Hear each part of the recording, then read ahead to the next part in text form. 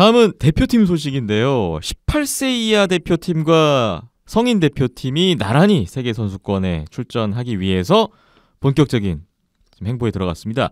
먼저 18세 이하 대표팀 3월 31일에 출국을 했군요. 네, 출국을 했고요. 어, 7일부터 이제 D2A 대회가 있습니다. 디비전 선수권? 2 그룹 A 예. 해서 4년 만에 우승을 도전한다라는 목표를 가지고 출국을 했고요.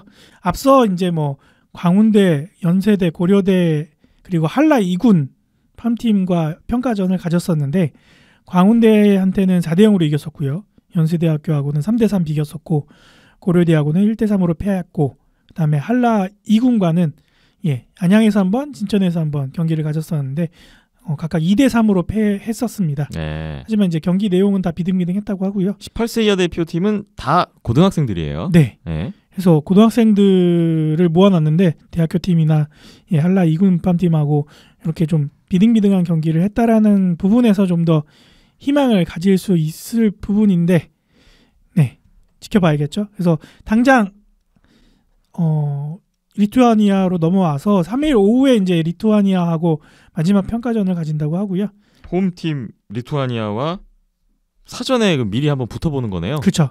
그리고 이제 7일부터 저녁에 어, 본격적인 대회 경기를 갔습니다. 그래서 7일 오후에 스페인과 갔고요. 9일 오후에 루마니아, 그다음에 10일 오후에 폴란드, 그다음에 13일 새벽 리투아니아, 같은 날 저녁 에스토니아. 이렇게 경기가 예정이 돼 있고요. 다 예. 한국 시간으로 말씀을 드렸고요. 아마 인터넷으로 스트리밍이 되지 않을까. 그동안 그래 왔었으니까 예 그렇게 생각이 들고요.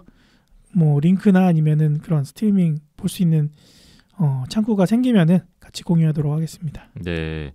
우리나라가 작년 재작년에 2년 연속 4위를 했던 네, D2A인데 이번에 우승 승격에 도전하고 있습니다. 네. 기대해봐도 될까요? 기대를 일단 하고 들어가야 되는 게 맞는 것 같아요. 예, 부정적인 이야기는 경기 다 끝나고 해도 되지 않을까라는 생각이 들고요. 네, 좀 잘 해서 어, 좀 밑에서 잘 해서 치고 올라와야 위에서도 좀 자극을 받지 않겠습니까? 네. 기대를 하고 응원하는 마음으로 지켜봐야겠습니다. 네. 김희우 감독, 김성수 코치, 엄연승 코치가 이끄는 18세 이하 남자 대표팀 부디 목표했던 우승으로 승격이라는 또 좋은 소식을 들려주기를 기대를 해보면서 또 응원을 해보겠습니다.